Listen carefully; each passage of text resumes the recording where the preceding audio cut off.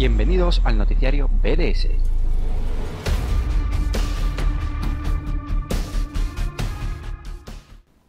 Muy buenas a todos, comenzamos un nuevo directo de Blog de Superhéroes.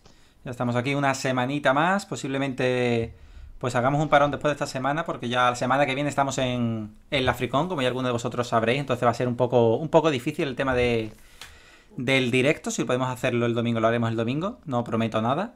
Y si no, pues a ver si lo podemos hacer a principios de la, de la otra semana. Pero bueno, ya lo vamos viendo sobre la marcha. Iremos informando sobre las.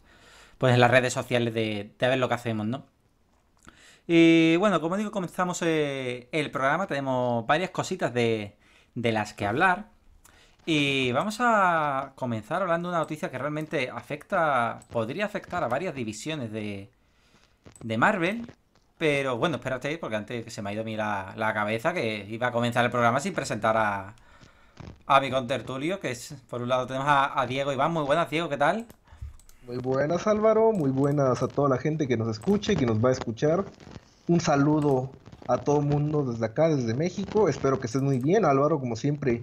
Un gustazo compartir micrófonos cada domingo contigo. La verdad, es un gusto estar haciendo esto con ustedes. Nada, el placer mío. Y bueno, a lo mejor más tarde se incorpora, se incorpora Error, que no podía estar a la primera hora. A ver si, si le da tiempo, no llega muy tarde.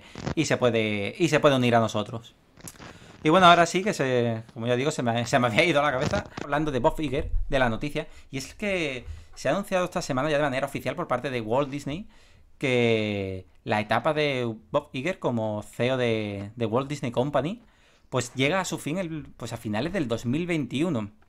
Como sabemos, pues Bob Iger es uno de los pesos pesados de, del conglomerado Walt Disney.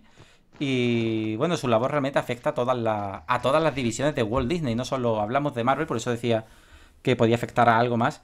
Porque hablamos también pues de todo el cine de, Disney en general. Y hablamos pues de los parques temáticos. Hablamos de lo que es toda la estrategia directiva de, Disney. Y bueno, realmente la salida de Bob Iger no se produce, no se debe a nada en concreto, sino sencillamente que su contrato a, pues llega a su fin el 31 de diciembre del 2021, es decir, todavía nos queda pues casi dos años de, de directiva. Y él ya hace tiempo quería, quería retirarse, de hecho en, en junio del año pasado hizo ya un primer, un primer amago, pero bueno, realmente con la, con la compra de, de Fox, que es una, pues un movimiento bastante importante para una empresa, que fue hacerse con todos los activos que tenía, que tenía Fox, eh, él retrasó su, pues su retirada y para dejarlo todo prácticamente encauzado. Ya que está la compra de Fox efectiva eh, dentro de Disney, pues ha visto que ya es pues su momento. Ya tenemos a incluso a su sucesor, que va a ser Bob Chapek, que bueno, pues ya lo colocan evidentemente como el candidato ideal para, para suceder a, a Iger. Y bueno, poco que decir, este hombre ha estado al frente de la división de parques, experiencias y productos de, Disney. Y, y ahora va a ocupar eh, su lugar. Con la- comentar muy rápidamente que Bob Iger va a ayudar a, esa transición de un directivo a otro. Y, y poco más, realmente. Bob Iger va a ayudar a, a toda la parte creativa de lo que queda de, de su contrato.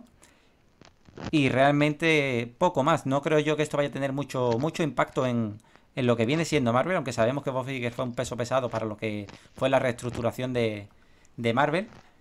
Pero poco más. Yo creo que tal y como está Kevin Feige, que funciona, que funciona bastante bien. Tendría que fallar muchísimo Feige para que haya, para que haya algo y, y poco más, realmente. Es que es un cambio de directiva, pero yo creo que se va a quedar todo, todo va a seguir funcionando como tal porque se queda alguien de la casa y sin muchas novedades. No sé si tú quieres añadir algo. Bueno, hay que reconocer el trabajo del señor Iger. Realmente adquirir todas estas propiedades, todos estos estudios, todas estas fran- franquicias, es algo impresionante. A lo largo de 15 años, Ujú. em, 15 años o más, desde que ha estado Iger acá, adquirió Pixar, adquirió Marvel, Lucasfilm y el más gordo de todos, que pues es 20th Century Fox y todo lo que conlleva en la red, la red de medios de noticias que tenía pues esta empresa como tal, ¿no? Realmente es impresionante lo que hizo pues el, lo que hizo el señor Iger, realmente bueno, uno queda impactado ante, ante tanto tantos elementos que logró amasar en su trayectoria. Sí, hombre, la verdad es que mm, es un peso importante. Ya hemos hablado alguna que otra vez de la, la importancia que tuvo a nivel de, de, Marvel Entertainment para toda la reestructuración, de sacar a Marvel Studios de, de Marvel Entertainment y del paraguas de Ike Permuter, si no me equivoco, el nombre Ike Permuter, que prácticamente tenía, tenía de cabeza al bueno de Feige. Y, y, poco más. Bueno, pues ya está, ya está todo dicho, ¿no? Realmente. Y bueno, tras este pequeño inciso, pues porque realmente es una noticia un poco, un poco general para todos, nos vamos a, yo diría que una de, de las grandes pues, noticias y uno de los bombazos que, bueno, realmente ha sido noticia esta semana y, y ahora ha tenido un bombazo esta misma, esta misma tarde, y es hablar de, pues de la serie She-Hulk. Ya hace tiempo que estamos hablando del rodaje de, de esta serie de, de, Walt Disney, mejor dicho, de, perdona, de Marvel Studios para Disney Plus. porque es uno de los. Bueno, realmente de Walt Disney, realmente no me he equivocado, siendo estricto, pero bueno, sí, realmente de, de Marvel Studios para Disney Plus. Y sabemos que es una de las grandes apuestas de Marvel para la plataforma de streaming. Y desde hace días, pues viene sonando el tema de, del casting, ¿no? Y ahora, pues curiosamente, Marvel Studios ya tiene a, a la que diríamos sería su actriz prototipo, ¿no? Nunca, no se sabe muy bien nunca cuando se habla de este tipo de cosas a qué se refieren, pero bueno, sería como su actriz modélica, ¿no? La que ellos tienen en mente a la hora de buscar actriz. Y sería la actriz de, pues, Alison, Alison Brie, que realmente es una actriz que, bueno, se conoce, pero se conoce sobre todo en la, en la pequeña pantalla. Porque si no me equivoco es de, de la serie Community, ¿no? Si es la, no sé si es su, su trabajo más, más destacado. Y, y realmente, bueno, es una actriz que puede, puede dar, el, dar el perfil físicamente, no sé yo a nivel de, por lo menos de, de cara y de, a nivel de, de actuación, ya la parte de, pues de musculación, no sé cómo se resolvería la serie, que yo creo que es una de, la, de las dudas que tenemos muchos fans, cómo se va, cómo se va a hacer eso. Y bueno, curiosamente la actriz estuvo el otro día en el programa de, de James Corden y le preguntaron uh, al respecto. Y yo no sé si tú has visto el vídeo, Diego, pero a mí me ha resultado muy curioso que la actriz se, se pone muy, muy, muy nerviosa cuando le empiezan a, a, preguntar por el tema. Le dicen que si estaba al corriente, ella dice que, que, se enteró cuando empezó a ver pues, una serie de montajes, ¿no? De su foto junto a, a la de She-Hulk. Y dijo que era interesante. Y cuando le empezó a preguntar Corden si, si ha hablado con alguien, si ha hecho algunas llamadas para hacerse con el papel, ella se, se, empezó a poner muy nerviosa y se queda callada. No sé si tú has visto ese, ese momento.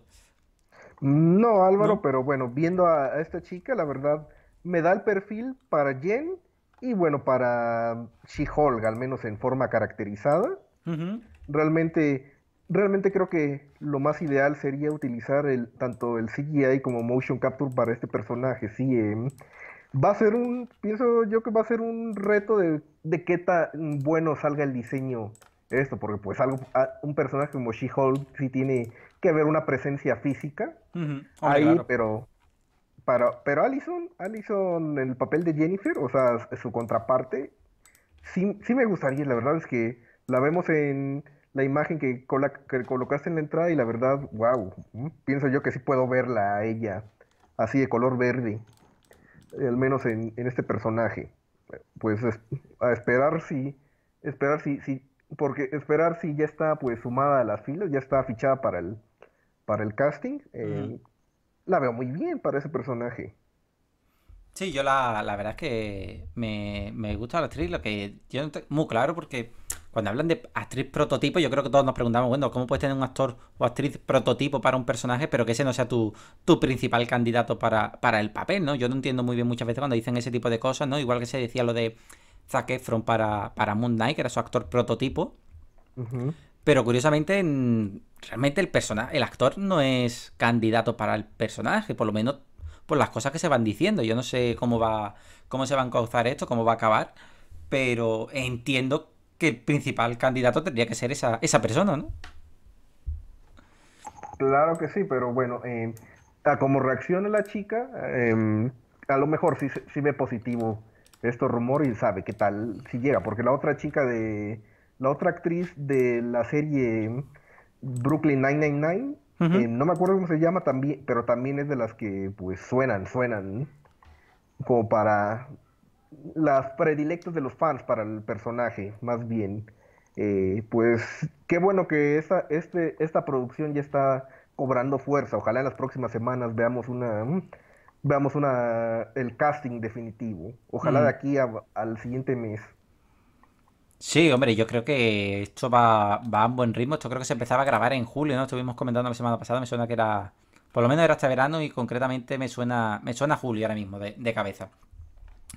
Y bueno, de aquí pasamos a, la segunda noticia que ha saltado hace pocas horas y que es la parte más interesante y es que en la, en la C12-2 que se estaba celebrando en Chicago este fin de semana, pues el actor Mark Ruffalo ha confirmado al fin que, que sí está habiendo, por lo menos ha habido conversaciones para, para que regrese o, aparezca de alguna forma en la serie de She-Hulk. Esto me resulta muy, muy interesante porque es algo que hemos comentado mucho en los fans aunque realmente a nivel de rumores no ha sonado con mucha fuerza el posible, la posible aparición de, de Hul en Chi-Hul, pero claro, los fans lo vemos como algo, algo necesario porque, bueno, es que realmente Hul es una pieza importante para, para el origen del personaje. No olvidemos que, que el personaje se transforma en Chi-Hul porque Bruce Banner, que es su primo, le transfiere, le hace una transferencia de sangre. No creo que era cuando ya, no sé si recibía un disparo o sufría un accidente, no me lo recuerdo ahora mismo y él le tiene que hacer una transfusión de sangre y con ello pues se va parte de, de esa radiación que le transforma en Hulk y hace que tengamos una versión, por así decirlo, un poco más light de Hulk. Y pues bueno, a mí me resulta muy interesante que Rufalo ha dicho que de momento son conversaciones preliminares. ¿Sí, Diego? Pues sí que te digo, eh, me alegra mucho más Rufalo, la verdad. Sé que es un actor con trayectoria bastante consolidado. Le han dado pues premios, ha sido nominado al Oscar, pero aún tenga esta ánimo, o sea, la verdad, fíjense yo que sigue con Marvel por el ánimo, le gusta estar donde está, donde está con Marvel Studios, me da la misma, la misma impresión que Tom Hiddleston, él, o sea, la verdad, eh, le gusta su personaje, calza bien, los fanáticos les, les gustan, la verdad, eh, mis respetos para Mar Ruffalo, realmente más actores así involucrados en el género que la verdad están gustosos de seguir siendo quien él. Y pues ves que ya, em, ves que está, está pues diciendo que ya está en conversaciones, pues bueno, ojalá, ojalá tenga un rol, si bien no diré que central, sí, sí importante en lo que viene siendo She-Hulk, ya que pues el origen tanto, el origen de She-Hulk viene muy relacionado a lo de él, o sea, realmente es imposible tener a uno sin el otro, a menos de que bueno, lo bueno es que ya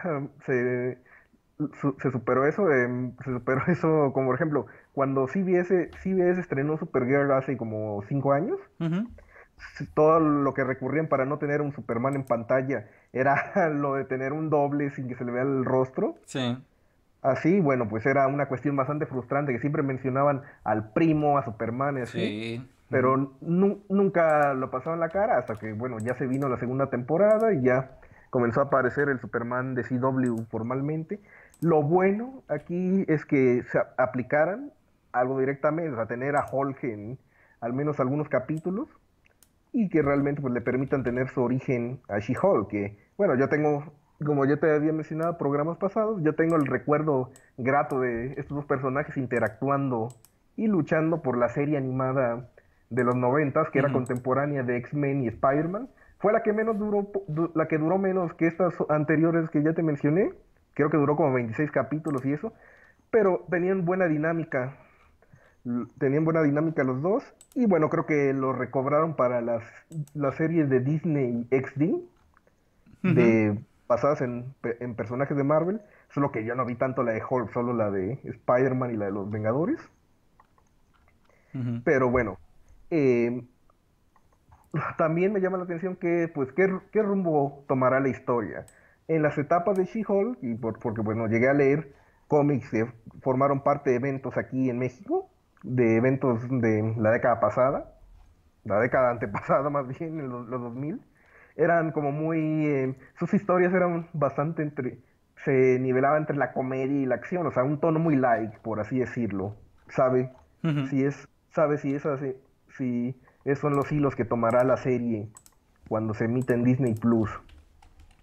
Hombre, la verdad es que tienen, tienen mucho margen de maniobra yo me gustaría que hiciesen algo innovador porque precisamente con Disney Plus lo pueden hacer, ¿no? Se pueden arriesgar a hacer lo que, hacer lo que quieran. Además, esta serie va a venir después de otras cuantas. Va a tener por lo menos tres o cuatro por delante. Entonces, va yo creo que va a tener más motivos para romper el molde un poco. Tanto porque tiene todo el histórico de las películas de Marvel, como va a tener un histórico de series.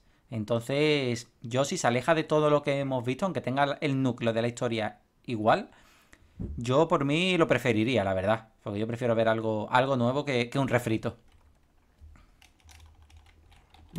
pues es lo que me llama la atención. ¿Qué, qué, qué, punto, qué enfoque creativo tendría la historia, la verdad? Eh, estoy, pues, estoy intrigado por lo que pueda, por lo que pueda llevar, claro. Eh, sí, realmente sí realmente pues estoy intrigado. ¿Y qué es lo que pues ha dicho Mar Rufalo al respecto de las conversaciones?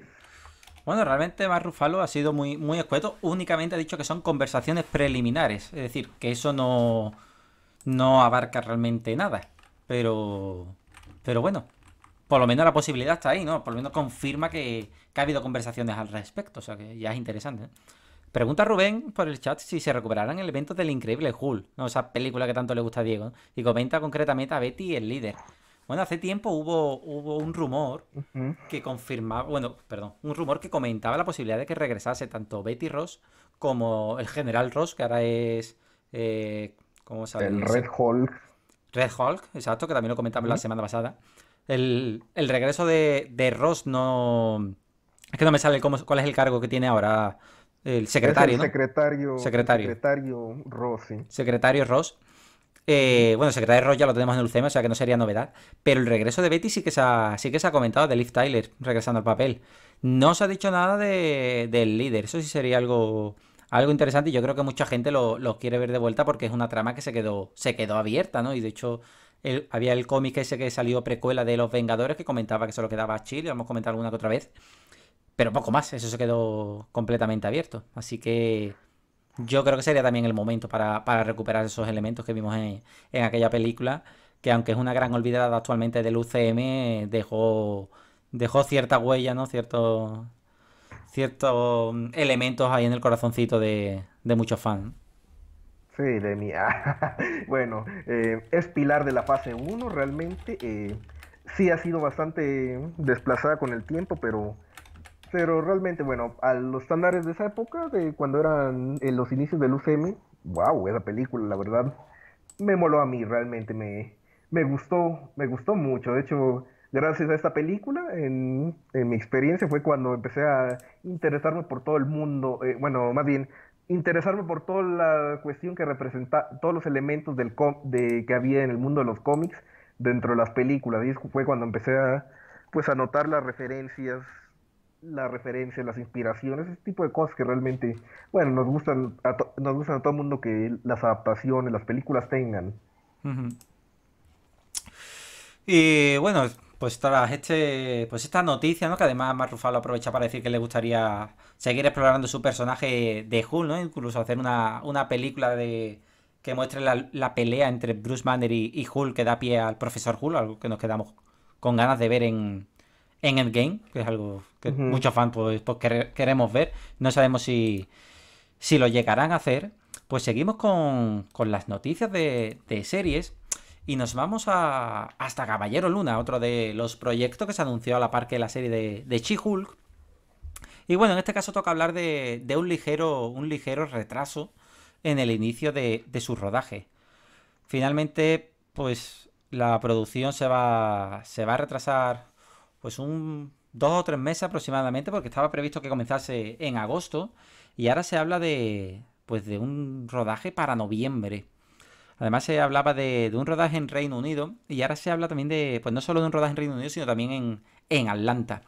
Es decir, que vamos a estar una producción con, pues en varias localizaciones, que ya es algo habitual en el UCM, incluso aunque se traten de, de estas series, y además se repite una localización habitual como es Atlanta, que se ha usado para, pues realmente para las tres series que tenemos actualmente en, en producción y que son Falcon and the Winter Soldier, WandaVision y, y Loki. Y bueno, realmente poco, poco más que comentar de la serie. Hemos hablado muchas veces de ella, pero bueno, es interesante este, este retraso porque haría que se situase después de, de que en principio su rodaje está previsto para, para julio. Y si realmente se retrasa estos pues, tres meses prácticamente, pues hablaremos también de un estreno, asumimos que por lo menos con tres meses de, diferencia, ¿no? Y realmente poco, poco, más que comentar sobre, sobre la serie, algo que Diego quiera, quiera comentar algo más. Bueno, seguimos sin actor todavía para Caballero Luna, pero ya, pero ya supongo que al mismo tiempo que She-Hulk habrá algo, habrá algo a, futuro. Creo que no tardamos mucho en que caiga el primer fichaje para. Sí, de hecho el casting dice que está, que está en marcha, o sea que puede ser que sea cuestión de, de pocas semanas, ¿no? Lo que pasa es que también lo mismo se decía de, de Miss Marvel y, ahí seguimos, ¿no? A la espera. Mm. Así que, bueno, Nos tienen esperando demasiado. Sí, totalmente, totalmente. Y bueno, pues tras esta, estas breves noticias, nos vamos a, yo creo que ante otra de las grandes noticias que ha salido esta semana por el tema de, por lo menos que concierna a, las series de Marvel. Y es que cada vez es más evidente ese, ese rumor que, que salió de la posible aparición de Battlestar en, en la serie de Falcon de Winter. Realmente la, aparición de este personaje no sería, no sería una sorpresa porque debuta en los cómics junto a, Use Agent, que sabemos que es uno de, no sabemos si el villano principal o por lo menos está ahí como Nemesis, villano de, la serie. Y ahora finalmente pues hemos tenido una, nueva pista, un nuevo indicio de, su aparición con una, con una imagen que publicó, creo que fue Anthony Mackie o Sebastian Stan, no me acuerdo cuál de los dos actores fue, en la que los veíamos pues detrás de las cámaras de, del rodaje de la serie y aunque llevaban la, pues el típico abrigo, porque se ve que, haría fresquete, se intuía pues la ropa debajo de, esos abrigos, ¿no? Entonces vemos a Anthony Mackie con, con unas botas de, halcón o del Capitán América. Yo tengo ahí, yo tengo ahí la duda. Teníamos también a Sebastian Stan con una ropa muy del soldado de invierno. Y teníamos también al US Agent, que no me acuerdo ahora mismo del actor, a ver si lo encuentro aquí rápido, no caigo ahora mismo. Wyatt Russell, el actor. Y se publicaba también a un cuarto actor que no sabemos quién era y que se ha, pues, ha revelado con el tiempo que se trata de Cleb Bennett, que curiosamente tenía en su pecho un traje con, una estrella. Entonces todo hace sospechar que, que estamos ante pues ante Battlestar, ¿no? Que es un personaje que hizo prácticamente las veces de Bucky cuando, cuando tuvimos al Capitán América de, de John Walker, ¿no?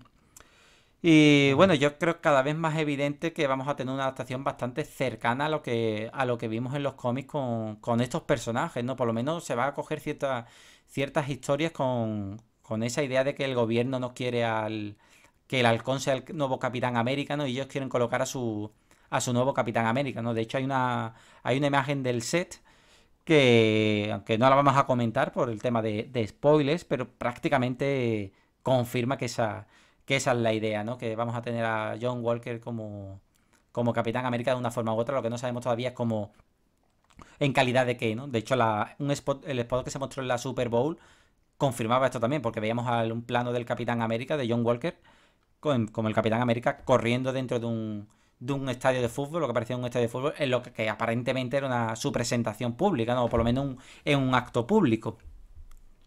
Mm. ¿Cómo ves tú, Diego, esta, esta aparición de, de personajes? Bueno, entre más personajes se rescaten de los mitos del Capitán América, mejor. Sí, realmente, eh, aunque las, las, películas tomaron, las películas de trilogía del Cap tuvo bastantes elementos buenos, creo que al tener a Civil War, tener un evento como tal, falta un poco para explorar lo que es el mundillo del Capitán América. Eh, bueno, pues los actores realmente ojalá tengamos esta rivalidad o al menos esta enemistad entre Bucky, Bucky Falcon y pues Walker y Balstar, o sea, realmente, realmente ahí siento yo que, puede dar para bastante, para bastante una, una, rivalidad bastante importante entre lo que, entre lo que puede ofrecer Falcon y Winter Soldier. Y bueno, complementando pues la nota, eh, es, eh, informa Charles Murphy, el insider, acerca de una posible reescritura debido a la, propagación del, coronavirus aquí en la vida real para evitando pues para evitar así herir sensibilidades con el público. Eh, bueno, pues sabemos que acá este problema empezó a, empezó pues a invadir desde invadirnos desde el mes de enero. Y bueno es una cosa bastante importante y alarmante para la sociedad. Hay que hay que mantener la calma. Aquí en México se confirmó esta semana que ya mm, que ya pues había entrado el coronavirus al país y bueno aquí aquí al menos la sociedad mexicana trata de tomárselo con calma, o sea, la gente, la gente razonable sí, pero bueno, volviendo a la cuestión que, que nos, que nos atañe el blog, bueno, eh, yo, había, yo había leído unos leaks pertenecientes a Reddit acerca de que se iba a utilizar un virus como una, una, de, la, una de las amenazas en Falcon and Winter Soldier. Y bueno, acá leyendo a nuestros estimados, estimados lectores del blog, especulaban acerca de que este virus podría pues tener dos vertientes. Una de ellas ya se había visto en el UCM anteriormente, en la serie de Agente Carter, que era la Mad Bomb. Ah, cierto. Pues, ajá, me hizo, me hizo recordar eso. Yo solo vi la primera temporada de Agente Carter, pero sí recuerdo ese pasaje en donde pues era este virus que hacía que la gente se la gente se, eh, se matara se matara una contra otra. En lo, eso, eh, los villanos de esa temporada de la serie de Gente Carter lo utilizan para sus planes y lo ponen en un, en un cine para hacer que todo, que pues, la gente de ahí se, o sea, creen un ataque, una, una batalla campal en donde todos se matan unos, unos contra otros, casi como la escena de Kingsman. Sí, eso te iba a decir. De 2015. Ajá, casi en esa. Pero bueno, eh, si esto, si es posible esta reescritura, creo que es por adecuarse a a la cuestión a la cuestión del mundo real que realmente pues sí es lamentable que esto pase también y bueno a veces las producciones reaccionan reaccionan a, no hacer esto el otro virus famoso que, recuerdo de los cómics es el del Red Skull aunque bueno dudo mucho que lo veamos en, en esta serie o al menos tomen ese camino que no sé si recuerdes tú en la serie de los Vengadores los héroes más poderosos de la Tierra la serie animada pues esa no la he visto, es una de mis grandes. Una de mis grandes carencias porque sé que es una serie que está muy bien y la tengo ahí en la, lista de deseados, pero la verdad es que todavía no, no la he visto. Bueno, el otro, esto proviene de los cómics, de hecho lo escribió el, máximo creativo de DC en su tiempo con los Vengadores, Geoff Jones, que se llama, esta, esta era un arco argumental que involucraba a los Vengadores en, llamado, ay, olvidé el, no, olvidé el nombre como tal, pero bueno, es un ataque que hace Red Skull y hace que toda la gente se convierta como él, en una calavera roja, casi como si fuera el gas del Joker, solo que aplicado a Red Skull. Bueno, bueno, realmente aún tenemos el estreno de Falcon y Winter Soldier, habrá, que ver cuánto, pues, cuánto, cómo cuidan o cómo reescriben, si ese elemento es real, claro, estamos hablando desde desde pues, especulaciones en Reddit y en otros medios. O también pues lo que nos comenta el insider Charles Murphy. Ojalá, ojalá, em, lo que, ojalá eso pues no afecte en cierta manera el desarrollo de la serie. Sí, a ver, porque a mí también me ha sorprendido hablar de, no sé si era algo del primer arco, la verdad es que no, no lo entendía muy bien cuando lo que se estaba refiriendo, pero a mí me sorprende que también le puedan dar una, una reescritura a estas alturas, ¿no? Porque se estrena la, serie, se supone que llega en, agosto. O sea que no hay. A ver, hay margen de maniobra y no, porque tampoco vas a elevar ahora los, los costes de producción de una manera. de una manera descarada, ¿no? Entonces. No sé realmente si es que era una pequeña trama dentro de, de una trama aún mayor y entonces es fácil esa, esa reescritura, ¿no? Porque si no, no sé cómo, cómo encajaría todo esto. Y bueno, pues hecho el, pues el comentario de Falcon de Winter Soldier que estamos deseando que se que se muestre ya algo, por lo menos que vayan lanzando más spots, más allá de, de lo que pocos que vimos en la Super Bowl. Tengo que hablar otra de las noticias, pues bombas, mejor dicho, rumores bomba que ha sonado esta semana y que, bueno, Diego creo que, que nos las vas a comentar porque tenías cierto interés, ¿no? Por supuesto que sí, Álvaro. Eh, bueno, esto de interés, aunque estemos hablando de Marvel, es de mi interés porque, bueno, es implica un poco al mundo de DC, pero dentro del contexto de Marvel, ¿cómo es esto posible? Va a decir la gente que nos escucha y nos escuchará. Bueno, pues esto es debido a la rumorada aparición del equipo del Escuadrón Supremo en la serie de Loki.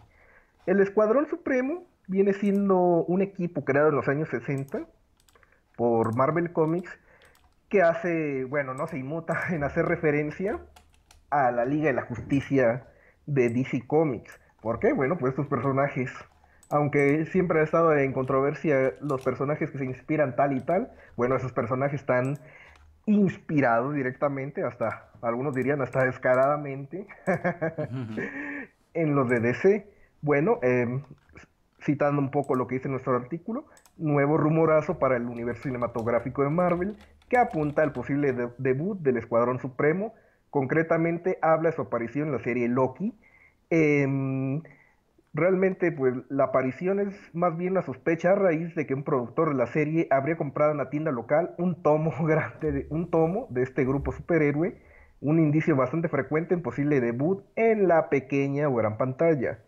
Esta información viene del sitio Bleeding Cool. Bleeding Cool, eh, sitio norteamericano también que publica noticias de cine y entretenimiento. Y bueno, pues este grupo ha tenido sus bienes y va durante la historia del universo Marvel. Yo los conocí debido a... Los conocían los principales miembros en distintos medios. Esos personajes son pues análogos de personajes de DC, principalmente la Trinidad, Superman, Batman y Mujer Maravilla, pero los que tenemos aquí en Marvel son Hyperion, la Princesa Sarda y Nighthawk. Eh, bueno, los tenemos aquí en la imagen que tenemos acá en Twitch. Y bueno, es inevitable decir, bueno, estos, estos a dónde, dónde los he visto.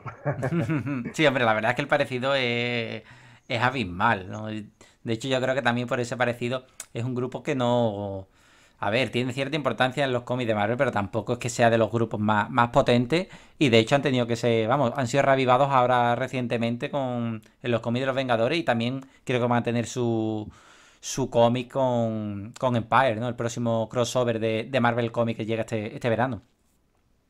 Sí que te digo, ellos existen desde los años 70, mm, fueron creados por Roy Thomas y John Buscema y estos personajes no viven en el universo Marvel tradicional, en el 616. Ellos viven en otro universo y por eso se les facilita el cruce entre, entre tierras. Ellos viven en una tierra llamada 712, al menos la versión original, y luego pues eso ya fue cambiando con el paso de los años. Yo conocí al, bueno, al equivalente de la Trinidad en tres diferentes medios. A Hyperion, que es el, que es el análogo de Superman, lo conocí por la serie de Avengers Assemble de Disney XD. Y bueno, pues qué te digo, es casi como si fuera totalmente él, salvo por su actitud un poco más engreída y con unos poderes casi entre solares, por así decirlo, o, o qué sé yo, eh, casi, casi nucleares, pero bueno, tiene los mismos poderes de volar, de rayo, de visión calorífica, super fuerza, eso. El Azarda, la princesa del poder, que obviamente es la, el homólogo de Mujer Maravilla, la conocí por leer los cómics de Ultimates, que bueno, tienen un crossover ellos con los Ultimates, los Vengadores del universo Ultimate en su tiempo. Pues tienen pues un par de, encuentros en eventos distintos. Y a Nighthawk, que pues obviamente es la, el análogo de Batman. Lo recuerdo por esa serie animada de Super Hero Squad. ¿Llegaste a verla en su tiempo? Eh, no. Bueno, la ubicas al menos sí, el nombre. Sí, bueno, lo curioso es que para en, el programa, en idioma en inglés, ese personaje pues le dio voz a Adam West, que obviamente, ¿cómo, cómo, cómo vamos a separarlo a él, el personaje de Batman? Y bueno, que dé voz a su, a su versión de Marvel, pues está muy curioso. Ahí, de hecho, pues y esos son los, miembros principales porque también tienen pues su análogo de Linterna Verde, el de Flash, em, un hechicero llamado Doctor Spectrum y otro, entre otros. O sea, literalmente son como si fueran la Liga de la Justicia de Marvel y pues, ¿qué te digo? Ya que en el UCM se abre esta brecha del multiverso y todo, eh, pues era interesante ver qué tanto pueden jugar con estos personajes. Pues sí, yo creo que si, es cierto el rumor, hombre, me o por lo menos las sospechas, o no sé cómo calificarlo, mm, a mí me va, por un lado me chocaría el verlos como, como esa versión alternativa de los Vengadores, ¿no? como se viene diciendo, Pero también es cierto que me resultaría muy interesante verlo en esa posición, aunque sea el, el cameo, por así decirlo, esa referencia, a mí me, a mí me molaría. Pero bueno, realmente también creo que estamos, no, de momento nos estamos agarrando a, a un clavo ardiendo porque es una sospecha más que un, un rumor con fuerza, ¿no? Como tú has dicho antes. Así que hay que dejar que, que el tiempo nos diga si esto va bien encauzado o, a ver cómo quedan. Bueno. ¿Sabes? Solo... Ah, perdón. Sí, sí, sí, Diego, remata. ¿Sabes? Como, como apunta acá, estaba pues tanteando ver la posibilidad de estos personajes, pero con Doctor Strange.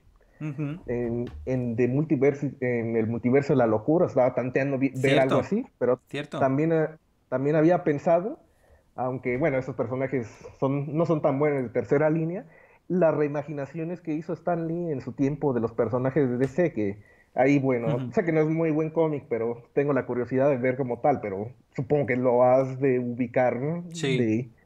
Ajá, o sea, siento yo que si quieren bromear algo y pues jugar al cachondeo con la competencia, pueden utilizar esos personajes. o sea, estaría bien, estaría bien. Estaría bien, estaría bien. No creo yo que vayan a ir por, por esos tiros porque, bueno, generalmente no, no les gusta por lo menos crear la, la polémica, pero bueno, por lo menos está, la posibilidad está ahí. Y bueno, con esto yo creo que ya cerramos el capítulo de, de series de Marvel y nos vamos al cine DC para hablar de, pues, de Spider-Man. Sabemos que el año que viene tenemos nueva película protagonizada por Tom Holland, la, la tercera que teóricamente va a cerrar la trilogía del Spider-Man comenzado por Marvel Studios. Y bueno, Tom Holland esta semana, como está de, promoción de su próxima película, bueno, realmente próxima película realmente no aparece porque pone voz, que es la de Onward, que es la siguiente película de Pixar. Pues él está de promoción y evidentemente le preguntan por, por Spider-Man, no, no hay otra forma. Y realmente Holland ya está empezando a, a soltarse, ¿no? Está ya a gusto. Y va comentando cositas, ¿no? Y por un lado, aunque no comenta demasiado, sí que ha, sí que ha confirmado que él ya sabe todos los detalles de, de Spider-Man 3. Ha dicho que ya ha tenido su, pues, la típica reunión con Marvel y con Sony para conocer los detalles. Y ha reconfirmado que, que el rodaje de la película arrancará este julio, ¿no? Que realmente es algo que, que ya sabíamos, nada, nada, nada nuevo, ¿no? En ese, en ese aspecto. Y bueno, realmente nosotros seguimos a la espera a ver que se confirme realmente hasta el título, ¿no? Yo creo que es la, gran ausencia de momento y sobre todo saber si van a dejar alguna alguna referencia nuevamente al, al tema de Home, ¿no? Tras Homecoming y Far From Home, no sabemos si va a volver a jugar con la palabra Home, que yo creo que todos los fans esperamos que así sea. Pero la parte yo creo que más, más interesante de las recientes declaraciones de Holland son pues ese amor que ya ha, declarado una vez más a Spider-Man y concretamente al Spider-Man ubicado dentro del, UCM, ¿no? Hablando en unas declaraciones ha confirmado que pues que Sony ya tenía pensado eh, cómo sacar a Spider-Man del UCM cuando pues se acabó o llegó a su final el contrato que permitía que Marvel Studios y Sony Pictures hiciesen películas en conjunto, pues ya prácticamente yo creo que todos los fans veíamos a Spider-Man fuera de, del UCM y Sony Pictures no tardó demasiado en, decidir cómo sacar o cómo explicar a los fans eh, la ausencia de, de Spider-Man en el UCM porque ahora se situaba en un nuevo universo, no ese universo que está creando Sony. Holland ha confirmado que esos planes existen, pero lo más interesante, que de hecho lo estuve comentando en un directo que hice con, con Street Marvel el, otro día. Sí, de hecho te escuché toda, te escuché un par de horas. Sí, la verdad que fue, fue largo, fue largo, una hora y media larga, dos horas, sí.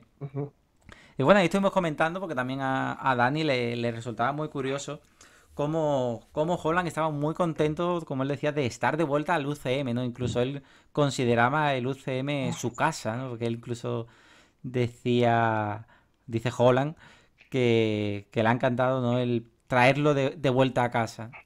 Y yo creo que una vez más, como decía Daniel, tomo las palabras, se, Tom Holland se posiciona, ¿no? Él quiere ver a Spider-Man en el UCM, como yo le decía que era porque, porque sabe que es donde funciona, En Sony, Sony ya hemos visto lo que es capaz de hacer con el personaje y en el UCM de Marvel Studios funciona bastante bien el personaje. Y yo creo que por eso Holland, como buen fan del arácnido, lo quiere ver ahí. Eh, no sé, no sé tú cómo, cómo, lo ves, Diego, vamos, realmente de la primera parte de la noticia, no sé si tienes algo que añadir, que es de Spider-Man 3, que yo estoy, de momento, yo quiero saber lo que es el título y también el villano, y sobre todo esta segunda parte de, de las palabras de Holland. Sí, también estoy intrigado por lo mismo. eh, ojalá tengamos algo pronto. Y bueno, sinceramente, al César, lo que es el César, este de Spider-Man está concebido para estar en el UCM. Y pues, la verdad, tiene que estar ahí, sacarlo de su, vamos a llamarlo así, entorno. Eh, realmente sería contraproducente y pues más en, más con, más con Sony, que realmente se nota un, un mundo, un océano de diferencia entre lo que produce Sony y lo que produce Marvel Studios. Yo entiendo, mira, yo la verdad con Tom Holland me ha gustado como Spider-Man, sí, pero pues, ¿qué te digo? Eh, aún tengo pues algunos peros, pero no relacionado a él, sino en el contexto en el que se desenvuelve. Estar con, con el UCM llegará a donde sea, pero pues con Sony realmente en el primer momento de falla po- podría correr bastante peligro de que se reinicie o de que haya un conflicto por una cosa u otra. La verdad, sí nos ha mostrado, nos ha mostrado que ese es el historial de, de Sony Pictures, al menos en el apartado creativo, si el apartado creativo no es lo suficientemente fuerte, pues el producto termina bastante irregular. Mm. Sí, sí, coincido, coincido completamente. Y bueno, es que realmente no podemos más que suscribir lo- los deseos de Holland y que esperemos que tras el, el- este nuevo contrato, que recordemos abarca tanto lo que es la esta tercera película que comentamos de Spider-Man como la aparición en, en otra película más de Marvel Studios, que todavía no sabemos cu- cuál es, pero asumimos que es una, una película coral. Pues esperemos que tras esto haya, haya más renovaciones o por lo menos más acuerdos puntuales para, para que Tom Holland siga apareciendo en el, en el UCM. Y bueno, pues tras hablar de, de Spider-Man, que muy pronto seguramente empezaremos a tener noticias de, del casting, no tardarán demasiado en llegar. Hablamos de un nuevo, rum- un nuevo rumor que suena para la película Shang-Chi, la película del 2021 de, de Marvel Studios. Y es que se viene comentando la, la posible aparición de pues del personaje Wizkid, que realmente posiblemente ni sepamos mucho cuál es. A mí, de hecho, lo he visto a lo mejor puntualmente, pero ni siquiera lo sitúa. Pero quizás la parte más interesante de todo esto es que el personaje es, es realmente un mutante. Y, de ahí la, la noticia, porque claro, de aparecer este personaje en el, en el UCM, o por lo menos en la película de Shang-Chi, estaríamos ante, ante el primer mutante que tenemos en el UCM como tal. Obviando evidentemente las apariciones de, de Mercurio y Bruja Escarlata, a los que presentaron como, pues realmente como esa parte... Bueno, realmente se olvidaron literalmente de su, de su parte mutante y usaron para, para el origen de sus poderes, creo que fue el cubo cósmico, si no recuerdo mal. Y, y bueno, realmente ahora que Marvel Studios sí puede usar a los mutantes, de aparecer Wizkid, a lo mejor tendríamos lo que es la primera referencia a un a la presencia de los mutantes en el UCM. Yo lo veo bastante interesante. Yo creo que, que sería una forma bastante, bastante curiosa de, de introduciendo esta, esta raza, ¿no? Esta especie en, en el universo, ¿no? De las películas. Y yo creo que, que es una de las dudas que tenemos muchos fans. ¿Cómo, cómo los presentarán? ¿Los presentarán directamente pues del tirón o irán poco a poco dejándonos referencias como, como esta, ¿no? Sí que te digo, bueno, ese personaje totalmente desconocido para mí. Recuerdo yo que lo mencionan al final de Avengers Disassembled, Este evento de Brian Michael Bendis del 2004 que fue pues em, el génesis de toda su época, de 2004 hasta 2000, sa- no me no acuerdo cuándo, cuándo terminó la etapa de Bendis con el universo Marvel, como uno de los Vengadores que caídos, están en, están en este, al final de esta historia, pues todos los Vengadores sobrevivientes antes de formar los nuevos, están brindando por los brindando por todos sus compañeros caídos los que se fueron muy pronto y pues ahí estaba Bestia de los X-Men que también llegó a ser Vengador alguna vez en, en alguna de las etapas y él, él recuerda a Wizkid que bueno creo que debe ser porque ambos eran mutantes.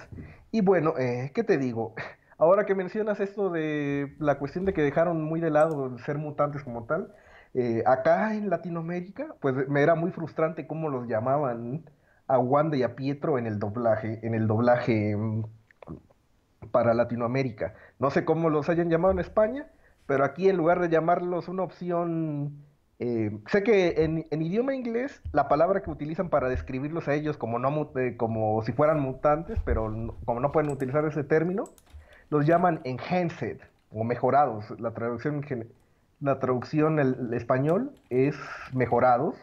Sí, comenta, comenta Rubén en el chat que son potenciados. La verdad es que no me acuerdo cómo los llamaba, pero sí me suena mejorados, ¿no? Sí puede ser que utilizasen ese, ese término. ¿ve? Y a ver si lo encuentro, porque la verdad es que no me acuerdo, pero me suena que era, que era por ahí. Sí, bueno, en lugar, o, sea, y acá en el doblaje, pues no, la, realmente se liaron, como dicen allá, se liaron, se hicieron bolas con el nombre y los llamaron alterados. Y digo, yo, oh. que, los llamaron los alterados, o sea, y lo mencionan varias veces en la película, como que me queda así, o sea, en lugar de, aparte, bueno, eso también ya viene la realización de la película, en lugar de, sé que en, en DC los personajes con poderes los llaman en su mayoría metahumanos y en Marvel sí, han, utilizado, sí han sido prácticos o flexibles con al llamarlos tanto super como meta. Pero bueno, ¿qué te digo? Eso de llamarlos enhanced pues, es demasiado, bastante pobre también. Igual creo que así también los llamaban en agentes de Shield a los humanos con poderes. Y no, pues, ¿qué te digo? Y bueno, ese personaje obviamente puede ser incluido en Sanchi por sus raíces asiáticas y pues tener un, tener un rol de personaje secundario, dado a sus habilidades tecnológicas, como pues describimos aquí en el artículo, en, nuestra entrada, en nuestro post. Bueno, a ver, por lo menos lo dejamos ahí como, como rumor y también a lo mejor incluso aparece y ni siquiera, ni siquiera lo comentan como mutante y nos quedamos con la referencia, con la referencia a los fans, ¿no? Y, poco más, que no, tampoco sería de extrañar que no no es la primera vez que nos hacen algo parecido. Y bueno, cerramos con esto el capítulo, el capítulo de Marvel. Y nos vamos a. Pues a la casa de C. Y lo hacemos pues comenzando a hablar de, animación.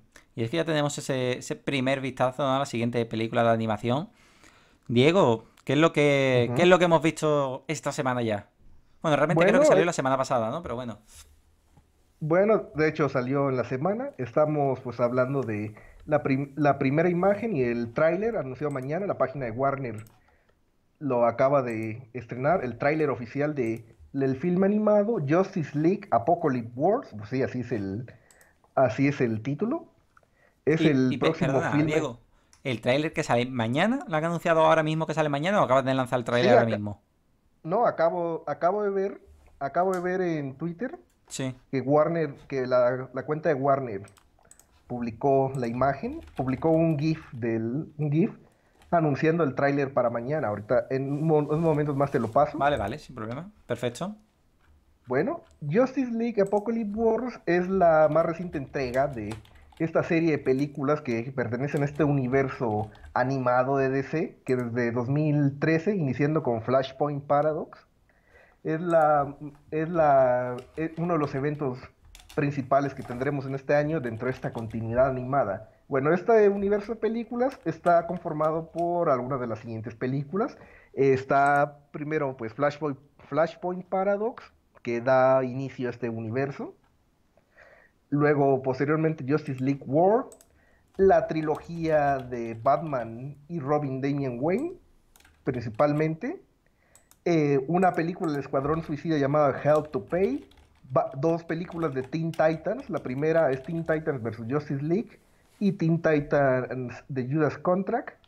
Y bueno, también películas, las películas de la muerte de Superman y el reino de los Supermanes, estrenadas el año pasado. Son bastantes películas, la verdad, son...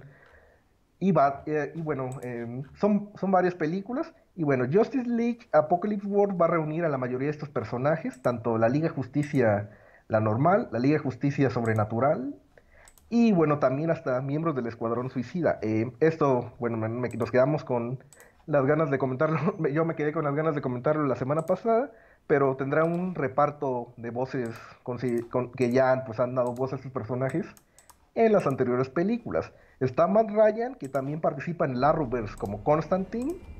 Jerry O'Connell, que ha dado voz a Superman en todas las películas, desde Justice League World Thaisa Farmiga para Raven. Este personaje aparece en las dos películas de Teen Titans. Jason O'Mara, quien le da voz a Batman. Rosario Dawson, que es Mujer Maravilla también en todas las películas que ha participado. Shemar Moore como Cyborg, Christopher Gorham como Flash, Rain Wilson como Lex Luthor, Rebecca Romaine como Lois Lane, Tony Todd como el villano de la película Darkseid, Camila Lunnington como Satana, y bueno, entre otros personajes de la Liga de la Justicia Oscura, el Escuadrón Suicida y la Liga Justicia Normal. Y bueno, esto se, dado por las imágenes que se han filtrado, promete ser un evento bastante gordo dentro de esta continuidad animada. Bueno, desde luego es el, casting es impresionante y, no sé si incluso que decían que era la mayor cantidad de personajes de, de una película de animación, pero de toda la historia, creo, incluso.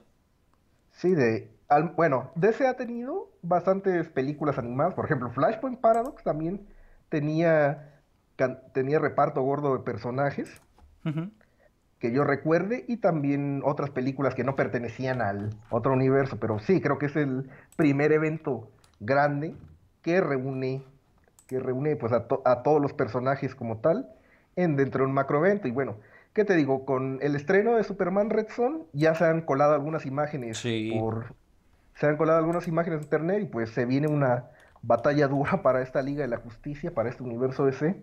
Y realmente estamos, estoy a la espera, según el cronograma, el cronograma de, de que te, bueno, que no hay fecha, no hay fecha especial, pero dado como son los tiempos de estreno entre producciones animadas de DC, que bueno, que yo sigo también, eh, estipulo yo que para abril se anda, se anda estrenando, ya que así fue como Así fue cuando se estrenó las anteriores películas. Siempre hay como un plazo entre dos meses, tres meses, para, que se, para que estrenen.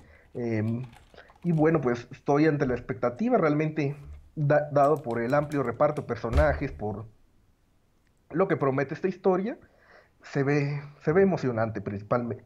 Se ve emocionante y atrayente qué es lo que puede ofrecer esta propuesta, que muchos comentan que se está basando en un arco de los cómics, también perteneciente a la etapa. Este universo bebe mucho del mundo de, del mundo de New 52, que pues fue el relanzamiento que tuvo DC en 2011, el cual fue un poco criticado, sí, pero bueno, eh, este universo como tal bebe mucho esas películas. Bueno, yo realmente poco, poco que aportar porque en el apartado de animación ando un poco, un poco desconectado. En su día sí incluso me veía bastante las películas, pero hoy día estoy ya desconectado. Así que lo que tú digas va a misa. Sí, ah, te paso, te paso el enlace. Ah, sí, ya lo he visto, ya lo he publicado hasta en Twitter. He visto que ha salido un hasta un pequeño vídeo de anunciando eso, porque es el, es el tweet, ya lo, ya lo hemos comentado en. Vamos, ya digo, ya lo hemos publicado en Twitter y para mañana, lo que no sé, a ver a qué hora, pues tenemos ese, ese primer tráiler, que no sé si va a ser pues parte de lo que, de lo que se ha filtrado, ¿no? Como, como tú decías antes, que lo llegamos hasta comentar en el, en el blog. Pero, ¿sí, Diego? Sí, como, bueno, nos están diciendo Rubén JGG 1995, em, realmente se quieren enmarcar su, su clímax de la historia, su endgame al parecer.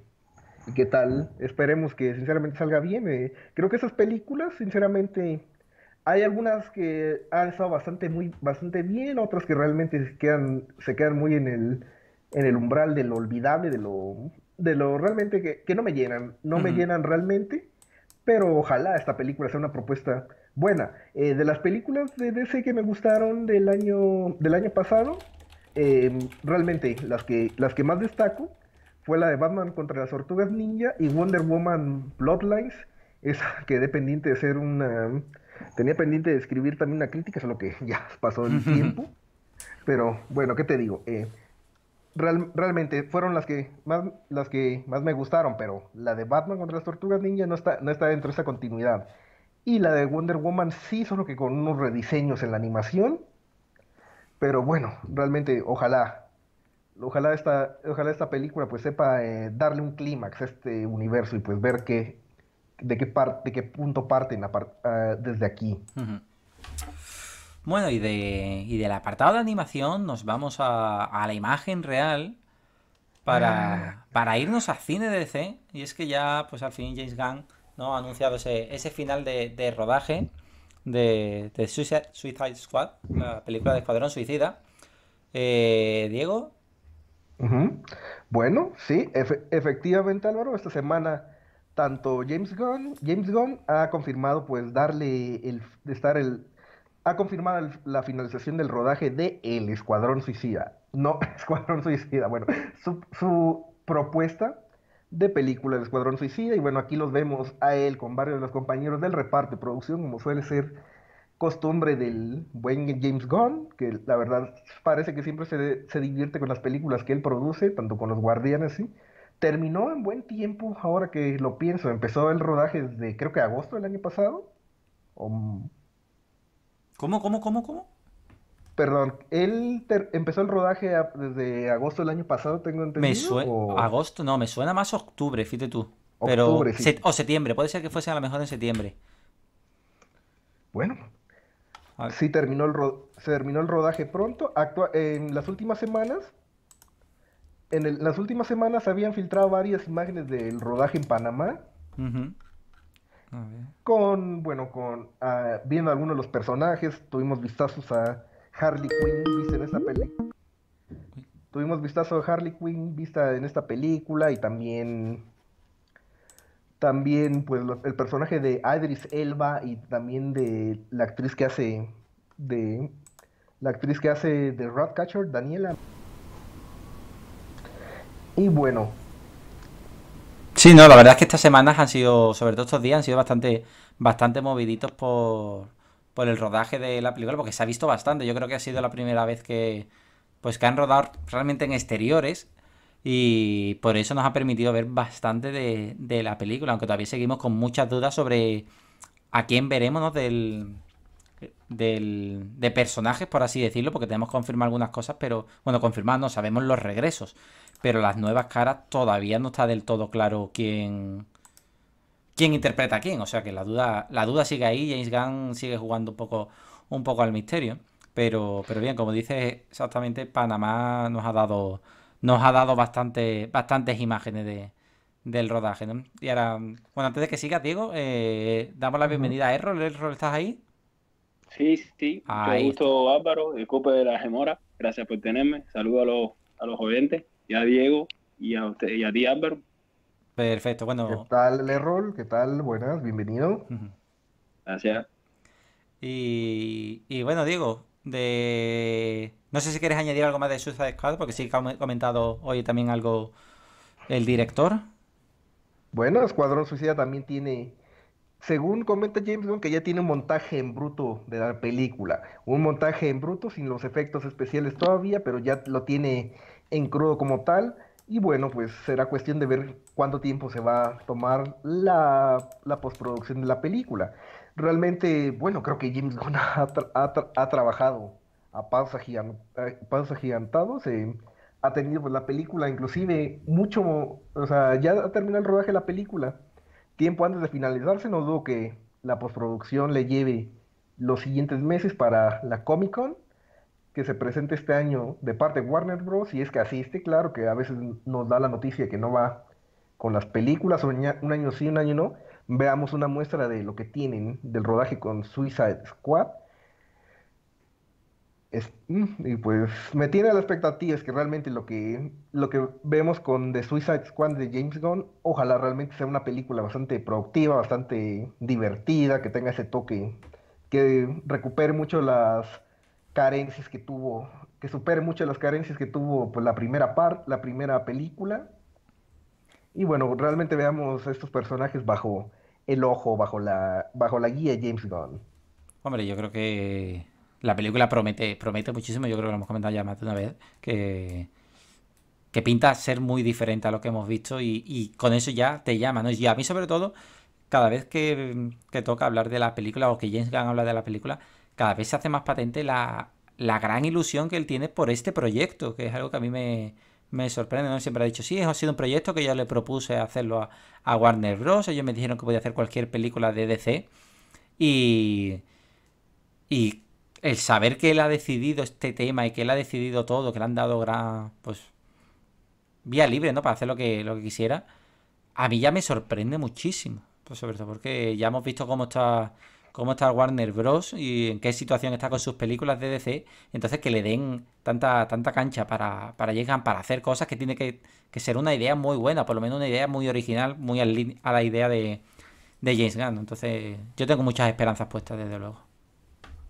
Yo eh, principalmente quiero que aproveche lo que David Ayer no pudo hacer totalmente, o también se quedó corto, que aproveche el estilo, estilo burlón, el estilo, pues, un estilo cómico que pueda aplicar el Escuadrón Suicida, eh, que se desa- que se desate, como, que- como decimos acá, simplemente que se quite el chongo, como que se quite el mono. Ay, bueno, no sé si me entienden, el que se, que se desate y totalmente pues haga todo lo que en Guardianes no puede hacer con sus personajes. Y bueno, eh, no sé si comentar estas cuestiones de si se considera spoiler un poco las imágenes del rodaje, ¿se puede o no se puede? No, no, eso es spoiler, eso es spoiler.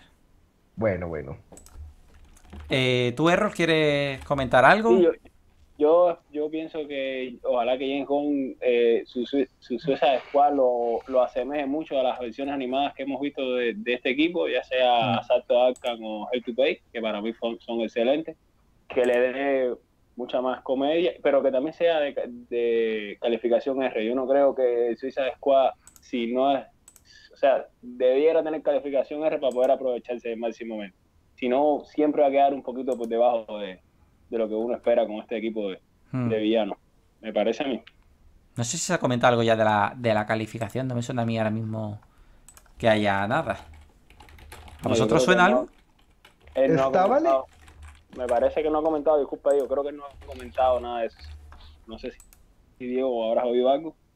Mm, Yo estaba leyendo, bueno, en sus principios, cuando era las primeras etapas del rodaje que estaban tanteando una clasificación R, pero tras este mm, batacazo que se pegó Verso Prey, Uf, puede que. Warner Bros.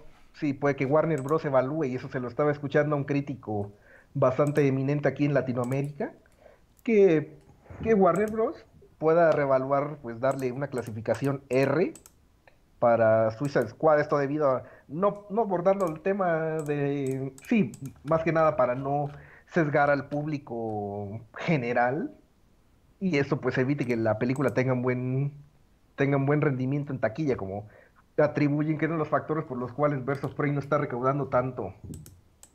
Bueno, sí, podemos decir que es eso. Yo creo que, que hay más, pero, pero sí, podemos decir que, que ha sido un problema de calificación. No sé, no- yo no lo veo. Pero bueno. Y bueno, pues realmente seguimos hablando de, de cine DC, sobre todo por una noticia que salió ayer y que yo creo que para alegría de, de Diego. Y es que abarca la, la famosa Snyder Cut de, de Liga de la Justicia, que ya parece que, que tiene nuevo, que tiene nuevo nombre, ¿no? Parece que es Zack Snyder's Justice League, es decir, Liga de la Justicia de Zack Snyder. Y bueno, coméntanos, Diego, ¿qué, es lo último? ¿Cuál ha sido el último movimiento de, de Snyder? Bueno, eh, tras el anuncio, tras el anuncio de que, mira, el día, ayer sábado, Snyder en su red social Veo publicó una imagen, y esto no es una imagen como los que anteriormente he hecho, ha publicado una imagen muy, eh, muy críptica en, una, en su plaqueta, en el material ese que utilizan para rodar, en donde, en donde premiaba a, uno, a una de las personas ganadora del concurso de los pósteres, sí, porque Snyder eh, hace pocas semanas em, hizo, digamos, inauguró un, vamos a llamarlo así, un torneo de que los, fan- los, los fans que siguen pues su trabajo, que siguen todo el caso de Justice League, subieran su, su fan art personal de un póster para Justice League. Y bueno, el ganador vendría, el ganador del, del concurso, por así decirlo, podría, presen- podría presenciar esta posible vuelta al rodaje de, de una escena adicional, de una fotografía, de, de, un- de una, esta, pro- esta posible vuelta al rodaje, como bueno, escri- escribimos nosotros en el blog, de una escena que posiblemente incluiría a Superman, Batman, Lois Lane y el personaje ese que realmente el año pasado nos sacó a, nos sacó a todo a todo mundo de bueno nuestras casillas que sí estaba en esta película, estaba planeado a tener un rol prominente en las películas como las visualizaba Zack Snyder el detective marciano o Martian Manhunter. Y bueno, todavía hasta el momento sigo pues atento a Twitter y atento a todo el mundo. Se supone que el día de hoy se anunciaría el ganador del concurso como tal. Y bueno, y bueno, Seguimos a la del concurso ten- tendría que, o sea, estaría invitado a, a presenciar este el rodaje de esta escena o estas escenas. La verdad es que esta es una noticia un poco, yo creo un poco rara, ¿no? Porque esa vuelta al rodaje así de- sin ton ni son, con algunos personajes, no sé, yo es algo que, que cuando lo he visto me queda así un poquito, un poquito de piedra, ¿no? Porque, no sé, recuperar a personajes como Batman, Superman, Lois y Detective Marciano, ¿no? Es tener ahí a... Asumo que si vas a rodar algo con Batman, vas a tirar entonces nuevamente de Ben Affleck, ¿no? Esa es la idea, ¿no? Se supone, ¿no? Bueno, eh, lo que se dice es, es que esa, esa cacleta, ¿se Mm. escucha bien, Álvaro? Sí, sí. Perdona, es que escucho como un ruido. Eh, bueno, dice que es posible dos escenas, o sea, no, sé- no sé sinceramente hasta el momento qué es lo que incluye eso. Recuerdo en su día cuando se revelaba que el personaje del general Swanwick que aparece en Men of Steel, Sí. se revelaba él como el Martian Manhunter, esa escena Ah, no sí. había sido grabada, o sea, recuerdo yo que cuando pues anunció que él se revelaba como el detective marciano, eh, esa escena no había sido grabada, no había- ah, no había sido alcanzada a ser grabada por Snyder, y bueno, pues habrá que ver. Era No una leí cena la- con. Perdona que te interrumpa. Era una cena con Lois Lane, ¿no? Quiero sí, una recordar. escena con, una escena con Lois Lane, y bueno, en los storyboards que su- sube Exacto, sí, sí. Snyder a Vero, Ujú. se supone pues de que era Marta Kane en disfraz y pues Merchant Manhunter pues haciendo su truco básico de, cam- de cambia apariencias. Y bueno, no lo recopilamos en la nota, pero nuestros lectores pusieron un hilo los pósters finalistas que están aquí en la entrada. Ujú. Y bueno, son esos pósters son los que entran en este concurso. Hasta el momento, no, pues, no, no he checado. eh, bueno, sigo Twitter, sigo Twitter viendo si pues ya se ha, ya se ha mm, emitido algún, alguna respuesta a quién, de, de quién fue el que ganó dicho, eh, ha ganado dicho concurso por su creación de los pósters. Y bueno, pues esto coincide que hoy es el día, hoy es el cumpleaños de Zack Snyder. Ah, pues 12. Vale. Todo Sí, cuadra. también. Ujú. Sí, todo cuadra realmente. Sepa si en, en las próximas horas pues tengamos al tengamos algún anuncio. Yo, pues, ¿qué te digo? Sinceramente, no dudo que tengamos un anuncio oficial de que ya se estrene en un tiempo para acá, pero bueno, esto simplemente sigue alimentando la especulación para la gente interesada y bueno, para los no tan interesados pues sigue pues causándole espuma en la boca. Em, ¿qué te digo? Em, realmente, em, sé que aún tengo pendiente una última entrega de eso, sí estaba trabajando en la semana, pero bueno, por ocupaciones personales Mm. no tengo, no tengo, eh, todavía no, no lo completo y pues, ¿qué te digo? Ah, quiero darle pues el remate perfecto, por así decirlo, así que, bueno, Bueno, el tema sigue, sigue de moda y tiene pinta de que esto va, va a seguir así porque yo creo que también es una de las cosas que más está, que más critica la gente, ¿no? Lo que se está, lo que se está demorando todo esto, ¿no? Se está haciendo mucho, mucho de querer, ¿no? Si, si realmente la vas a lanzar, anúncialo ya de que lo vas a hacer, no, no cebes tanto porque cebando tanto al final cansas, ¿no? Que yo creo que es la, lo contrario a lo que se intenta conseguir, ¿no? No sé, Rol, tú si cómo lo ves. Yo creo que sí, que si le das mucho largo, al final la gente exactamente se va a terminar cansando y lo que va a haber es toda especulaciones. Si lo vas a lanzar, lánzalo ya. Realmente yo no creo que, que eh, Zack Snyder, eh, Justice League sea, sea para el cine. Yo más bien la considero como para HBO Max o alguna pla- plataforma streaming. Yo creo que ya esa película en el cine no tiene cabida. Yo, que, yo Bueno. quisiera verla, por supuesto, pero me parece que en el cine no va a ser. Debe ser más para un streaming. No sé qué pensarán ustedes. Sí, yo también lo creo. Yo, bueno, en lo personal pienso que el streaming también es una opción viable y bueno, quizás em, el formato doméstico, o inclusive algún tiempo limitado de proyección en salas. eh, no sé, a mí, a mí la verdad, eh, ¿qué te digo? En lo personal no me ha cebado a mí, no, no me he sentido como en algún momento engañado. Estoy viendo cómo pues avanza este, avanza este caso, avanza este, este proceso, que realmente es algo bastante particular dentro del género de superhéroes. eh, a mí no me ha cansado, la verdad, eh, es para la gente que le interesa y bueno, pero pues curiosamente, en paralelo, pues lo que, los que más responden son en cierta forma los detractores de yo mismo, así que bueno, ¿qué te digo? Es, eh, en esta vida, en esta vida, en esta vida pues siempre habrá, habrá aquellos que te amen por lo que eres, pero en proporción siempre estarán aquellos que te odien por la misma razón. Y bueno, creo que esto puede aplicar bastante al trabajo de Zack Snyder y pues su trabajo. Y bueno, si podemos hacer este apartado, realmente em, no sé qué, no, bueno, si podemos hacer este apartado, como ya mencioné, era su- es- hoy es el día de su cumpleaños. Realmente sus películas, independientemente cuál sea su la opinión que pueda tener uno de ellos, em, no te dejan indiferente ante lo que ves. Mm. 300, Watchmen, Man of Steel, Batman vs. Superman. Realmente siento yo que han sido películas que no han dejado indiferente a quienes lo hayan visto y de alguna forma sí llegan a, sí llegan a cautivar a cierto, a cierto público o a gran parte del público y pues teniendo un estatus casi, vamos a llamarlo así, de, de culto, de seguimiento, que realmente a mí la verdad, eh, sé que Zack Snyder puede tener un estilo de director, él, él es lo que él es, él trabaja lo que es, sí, pero bueno, le gusta hacer eso, le gusta trabajar los temas que hace, la verdad me es, eh, me es un poco me es un poco molesto que mucha gente lo infravalore eh, diciendo que no ha alcanzado ese, ese tipo de, de profesionalismo como director, pero bueno, básicamente él le gusta hacer esos trabajos, le gusta explorar esos mundos, realmente siento yo que yo lo, yo lo respeto mucho, más que nada por eso, y la verdad, él, él, sus películas me, han tocado de una forma bastante, una de una forma bastante íntima cuando veo sus películas.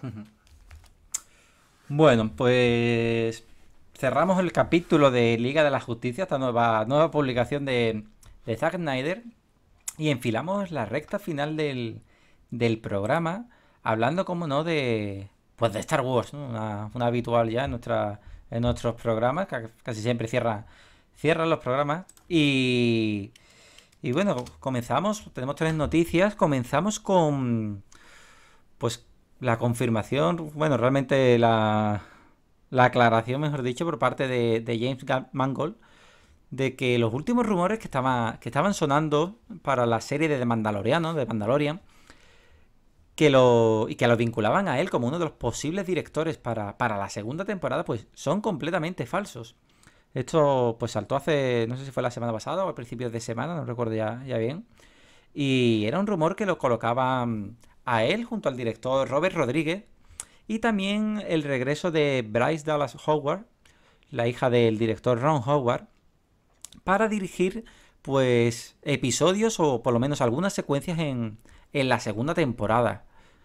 La verdad es que el regreso de Bryce Dallas no, no sorprendía, ya ya dirigió un episodio de la primera temporada.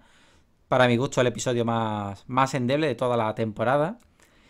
Y bueno, sí llamaba la atención pues la participación de Mangold, que recordemos es el director de las dos últimas películas en solitario de, de Lobezno, que son Lobezno Inmortal y Logan, si no recuerdo mal.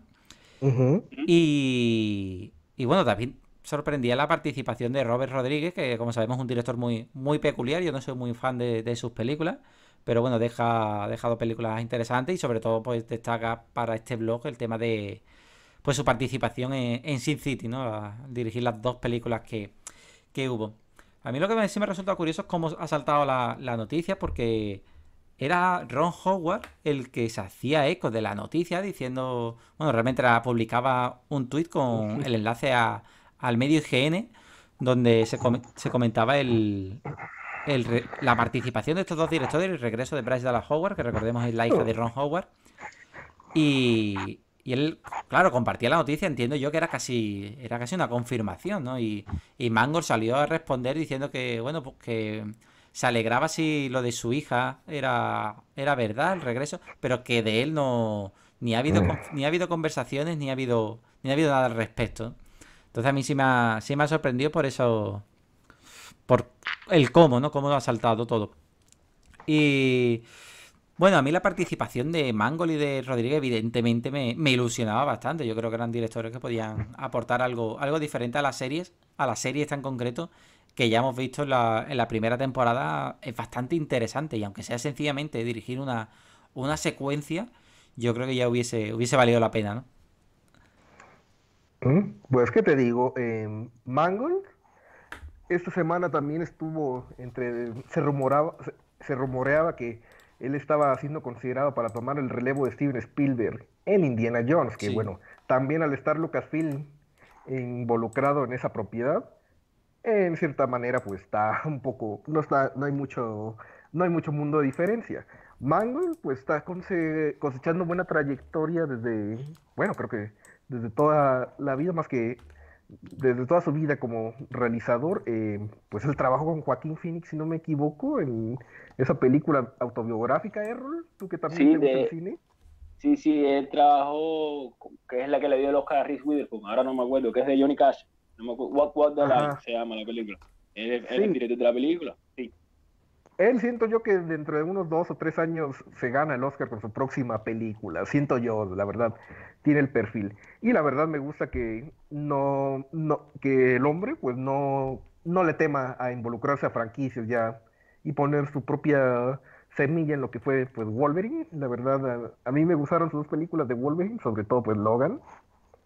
Y bueno, eh, si, Mandal si Mandalorian o los, las producciones de Star Wars cuentan con directores invitados de de que tengan buen prestigio, como en el caso de Taika Waititi en la primera temporada, Bryce Dallas Howard, y ¿qué otro director estuvo por ahí que no me, no me acuerdo que también estuvo invitado, Álvaro? De, Dave Filioni, Rick Famuchiwa, creo, que, que hizo Dope, Deborah Show, y yo no sé si John Favreau dirigió, me parece que... No, John Favreau en la primera temporada no, no dirigió porque estaba dirigiendo El Rey León, entonces yo creo que como ya estaba de showrunner, le era imposible. Pero sí ha dicho que, para la segunda temporada va, a dirigirlo. Que no sé si ha dicho cuántos episodios, pero por lo menos uno sí.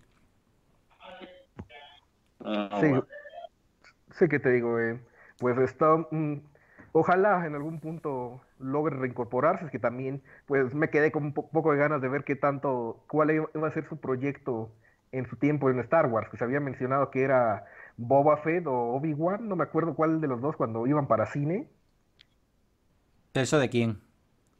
De James Mangold en su tiempo. Ah. No sé si Creo que era. Creo que era Boba Fett. Me suena que era Boba Fett. Sí, bueno, en cierta forma Boba Fett se transformó en, en The Mandalorian. Sí, realmente, realmente sí. Ojalá en algún punto Mangold pueda involucrarlo, sí, porque, bueno, si lo fichan para eh, Indiana Jones ya está conectado con Lucasfilm. Hombre, yo lo que a mí lo que pasa es que haciendo el off topic de Indiana Jones, a mí eso sí me, ha, sí me ha dolido un poco la salida de Spielberg. Y yo creo que ya va a ser difícil meter a, otro director, por lo menos yo como lo veo. Pero, hombre, lo que está claro es que son muchos los directores que quieren hacer cosas de Star Wars. Y por lo menos dirigir una secuencia, que es que yo creo que eso sería, sería bastante interesante. No sé si estarían todos de acuerdo en hacer eso, porque llegar a una serie sin conocer demasiado que estás fuera y de repente llegas y diriges el, una secuencia que está dentro de un capítulo que está dirigiendo otro director, hombre, difícil es, difícil es, pero bueno, a lo mejor si es un director con el que haya mucha, mucha conexión, pues puede, puede funcionar. Pero bueno, como tú dices, la verdad es que me, a mí me resulta interesante ver lo que podría ofrecer Mangold al, al universo de Star Wars. Ya lo comentaba antes, ¿no? Reitero mi, mis palabras, tanto él como, como Rodríguez, ¿no? Errol, ¿tú quieres comentar algo antes de, cambiar ya de, tema, aunque sigamos en Star Wars? Que Mangold es un, director muy versátil. Eh, por han visto, tiene en su filmografía está llena de proyectos que no siguen una línea común, desde Walk the Line, las últimas de Wolverine, la fantástica Ford vs Ferrari, que es la que lo tiene en la punta de, todos los, los, los, ejecutivos y todos los la, la casa productora, me parece que sí, que podría darle una visión perfecta tanto a una buena visión tanto a Star Wars como a Indiana Jones. Realmente, como él es tan versátil, yo creo que podría afrontar los, los proyectos sin ningún problema. Y Álvaro, realmente que, que Spielberg se vaya de, de Indiana Jones sí afecta, ya que ha hecho las otras, las, todas las son de la mano de él, pero realmente si te pones a pensar, él también hizo las dos primeras de Jurassic Park y después eh, dejó relevo a Joey Austin y Colin Trevorrow y inclusive al español Jay Bayona. Juan Antonio Bayana. Juan Antonio Bayona, su paisano de ustedes. El catalán, sí. Realmente eh, que a la gente le guste más o menos Jurassic World y Fallen Kingdom no tiene nada que ver. Yo pienso que trabajo subiendo a, Spielberg, tanto así como yo ellos son en la tercera parte. No son de las, las geniales, no es la primera parte impresionante, pero tampoco está muy mal. Supongo yo. Realmente si hay otro director que entra en Indiana Jones 5, no, no hay que ponerse triste. Realmente si es uno bueno, puede aportar cosas novedosas a la franquicia. Sí, eh, bueno, disculpa si me extiendo un poco con el off topic de Indiana Jones, no es mucho, Álvaro. Bueno, eh, adelante, adelante. Algo rápido. Harry, eh, lo único que tengo preocupación es que tanto se involucre Harrison Ford, que bueno, desde un tiempo para acá ya lo veo un poco, le, veo un poco, eh, muchos, mucha gente crítica hacia que sigo yo, lo ha, evaluado que el regresar a los personajes como que ya le causa un poco de tedio al señor Harrison Ford, que la verdad en sus tiempos eh, siempre ha tenido un carácter duro, sí, pero bueno, en, en recientes tiempos cuando lo llaman para casualmente interpretar a los personajes que lo hicieron ícono en el pasado, pues simplemente no se le ve la misma carga de emotividad o algo así. O, o, sea, realmente, o sea, lo ves en Indiana Jones, en Star Wars, en Blade Runner, como simplemente ya quieren dejar descansar al, a Harrison. Totalmente, pues, totalmente. Lo siguen, lo siguen llamando. Sí, sí, no, no, está, no está muy carismático, por así decirlo, el hombre, pero bueno. Y bueno, seguimos hablando de Star Wars para comentar pues el anuncio oficial que se ha hecho al fin de, de algo que se venía comentando hace bastantes semanas, no sé si incluso meses. Y ese de High Republic, ¿no? ese gran proyecto de, Star Wars que se estaba gestando desde hace un tiempecito y que se ha hecho ya el anuncio oficial. Y bueno, realmente la, el tratarlo aquí, aunque va a ser un esbozo, un esbozo muy rápido, por lo menos quería, quería comentarlo. Porque realmente hablamos de un proyecto editorial, es decir, hablamos de, algo que afectará únicamente a, libros y cómics y lo que hace es abrir un, pues realmente un nuevo, pues no sé cómo decirlo, un nuevo punto de partida dentro del universo de Star Wars, que es realmente lo que se venía comentando para el universo de cine. Y es que realmente hace pues un mes o así, o dos meses, se rumoreó que la siguiente película de Star Wars se centraría en la época de la Alta República de, de Star Wars, ¿no? Una época que no se había explorado hasta ahora. Y parece ser que todo, todo ese rumor venía realmente de este otro proyecto que, como decimos, solo afecta a, a cómics y a libros. Y que se sitúa pues cientos de años antes de, del episodio 1 de Star Wars. Y bueno, realmente decimos, bueno, cuando dices esto, lo lógico es pensar, bueno, pero esto seguramente harán películas y harán series. Yo creo que sí, es evidente que acabarán haciendo, acabarán haciendo algo con esto, ¿no? Pero el, pues desde Lucas han, han asegurado, bueno, mejor dicho, Lucasfilm, han asegurado rotundamente que esto es únicamente para, para cómics y libros. Es decir, de momento su idea no es extender esto a ni tanto serían cine y serie como, como a videojuegos. Que a mí me resulta un, un enfoque muy interesante. De momento quieren que, que los artistas vinculados a, a este nuevo proyecto tengan total libertad para, hacer lo que quieran con estos personajes. La idea es introducir personajes completamente nuevos, introducir unos villanos diferentes. De hecho, estamos hablando de una época previa a los Sith. Vamos a tener otro tipo de, de personajes y vamos a hablar de una época de, pues, de apogeo para, para los Jedi. De hecho, han salido algunas imágenes que las podéis ver eh, tanto en el blog como aquí en la, en la imagen de, que hacemos del directo, la típica imagen y vemos que tenemos muchos Jedi, lo cual a mí siempre, a mí siempre me atrae. Y de hecho tenemos algunos diseños de sables bastante interesantones porque son diseños de espada antiguas, ¿no? Que, resulta típica espada medieval. Que a mí me resulta muy, curioso. Y de hecho en otra de las imágenes, lo que pasa es que aquí no está, llegamos a tener hasta, hasta un Jedi que es un Buki. O sea que, que prometen ofrecer algo, algo diferente. Por lo menos quería hacer este, este pequeño inciso para aclarar el tema de que, claro, esto desmonta por completo el rumor que venía sonando de que la película se centraría, o por lo menos la siguiente película de Star Wars se centraría en la época de la, de la Alta República. Y como decía, con esto ya llegamos a la, a la última noticia, que es algo que os hemos traído pues esta, este mediodía. Y es la confirmación al fin, aunque yo creo que prácticamente todos teníamos la, la sospecha, de que. Pues de que sí, de que el emperador Palpatine que vimos en. En Star Wars, el acceso de, Skywalker, pues realmente era un clon. Por lo menos que su cuerpo era. Era un clon, ¿no? Esto es algo que. Que más o menos se intuye en la película, aunque realmente, como digo, no se llega a decir. Y. Y de hecho, la, la revelación la tenemos indirectamente cuando vemos los. Pues esos ese cuerpo flotando de, de Snoke, ¿no? Que nos empezamos a decir, oye, ¿esto qué es? Este, este hombre que hace aquí, ¿no? Y empezamos ya a imaginarnos que, que Snoke era alguien creado por, por Palpatine. Como decimos, había esas pequeñas pistas, pero finalmente una, una novela, de la, bueno, la novela que, ha, salido de, la película, ha confirmado que, que sí, que realmente lo que vemos en la película es un, es un clon y de hecho un clon que está sin, sin terminar, es decir, se estaba clonando su cuerpo, pero cuando lo vemos a ir, lo vemos conectado a tantas máquinas porque su cuerpo está todavía sin, sin terminar.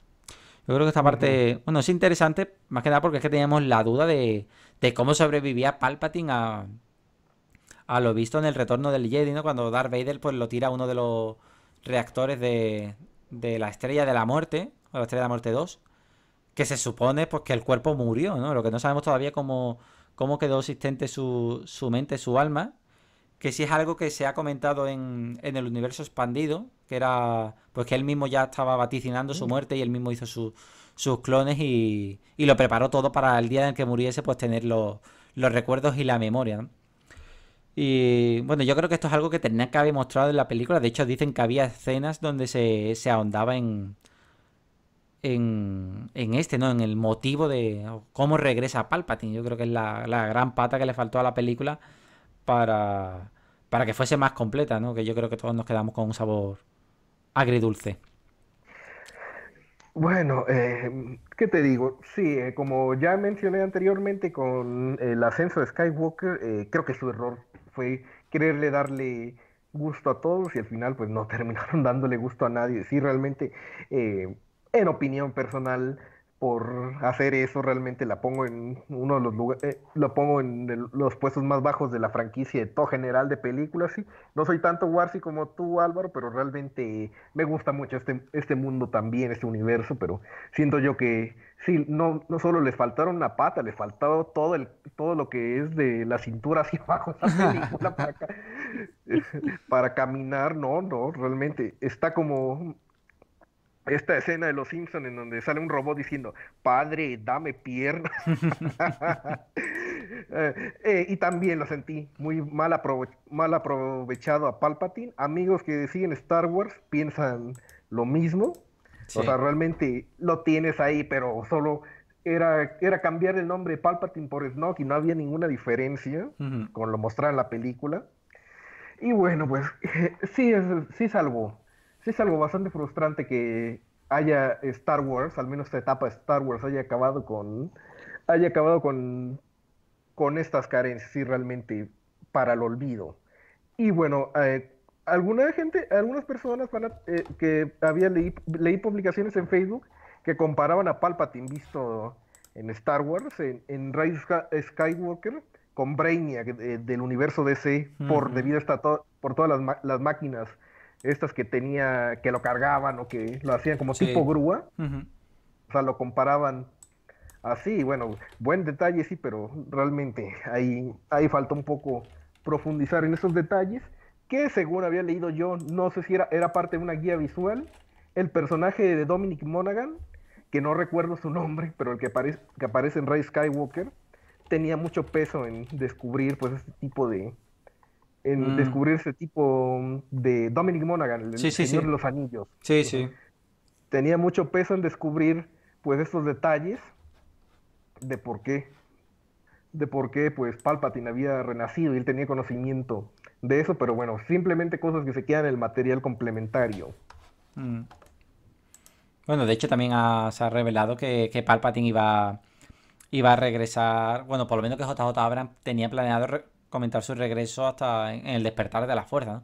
Yo creo que se confirma, vamos, sabíamos que el regreso de Palpatine era una idea de, de Abrams en cierta forma, aunque la presidenta de, de Lucasfilm creo que también tuvo algo que ver, que Lynn Kennedy. Creo que también manifestó su, su deseo de que así ocurriese, pero bueno, Abrams estuvo a puntito de, de dejar caer su, su presencia en, en, ese episodio 7 que, como sabemos, reavivó todo, todo el universo Star Wars en el cine. Sí, hasta recuerdo yo que también había artes conceptuales de un fantasma de Anakin Skywalker. Sí. Creo, sí. Que, creo que hasta en las tres películas hubo, se planteó eso. Mm. Sí, vamos, hubo muchas muchas ideas interesantes que se, que se acabaron quedando ahí en, pues, archivadas, mejor dicho, ¿no? Porque no, no encuentro la palabra, se descartaron, no tengo muy claro por qué, ya lo, ya lo hemos comentado, incluso cada vez que sale algo de Star Wars, sale algo de esto, en los comentarios, pues los fans se, se enervan, ¿no? Porque ven la frustración de lo que podía haber sido y lo que, y lo que hemos, hemos acabado teniendo. Uh -huh. Y bueno, realmente, salvo que Error quiera comentar algo, que yo creo que... No, yo igual si no... Él no, mucho Star Wars la W, no le mola. No, no la veo y la disfruto, pero más allá de eso no, no la sigo tanto.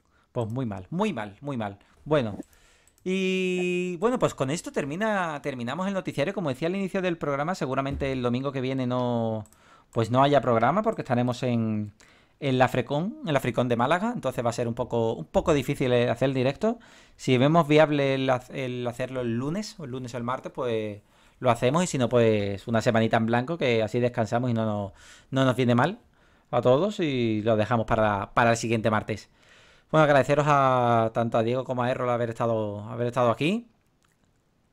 Gracias a ti, Álvaro, y a todos que nos escuchan. Y muchísimas gracias a todos los que habéis estado escuchándonos en directo y a todos los que nos escucháis en, en diferido cuando ahora subamos el, el programa a iVoox, Spotify, YouTube, etcétera. Y nada, nos seguimos viendo. Un saludo. Bye bye, gente. Cuídense.